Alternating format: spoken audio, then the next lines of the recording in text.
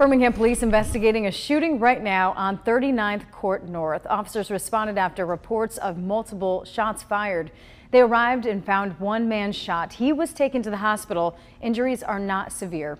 Officers detained at least two persons of interest. The motive surrounding the shooting still under investigation at this time.